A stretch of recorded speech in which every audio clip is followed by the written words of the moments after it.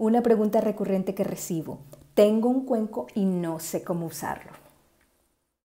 Con una baqueta como esta vamos a percutir el cuenco por uno de sus costados, suavemente como esta.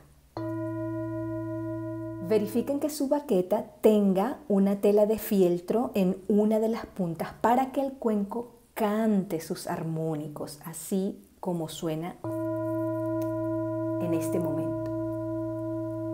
Ya que si lo hacemos de la otra punta, el cuenco grita un sonido.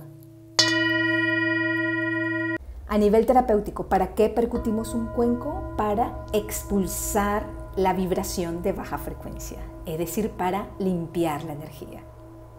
Si tenemos el cuenco en nuestra mano, recuerden estirar lo máximo posible los dedos de manera que nuestra propia mano no ahogue el sonido para percutir tenemos otros tipos de baquetas como esta de goma dura o esta de eh, una especie de goma espuma. Y el sonido es simplemente más profundo en su vibración. Con esta.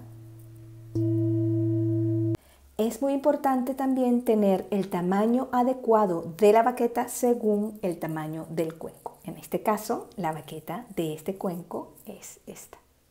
Y finalmente dejemos que el cuenco finalice por sí solo la vibración percutida. Hasta la próxima clase.